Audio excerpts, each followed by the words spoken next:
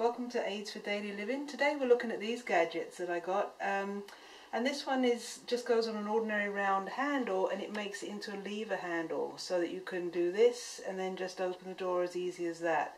There was also a second one. These are for different size doors, uh, door handles. So this is just for a smaller handle, same kind of idea though. And that's the door handles.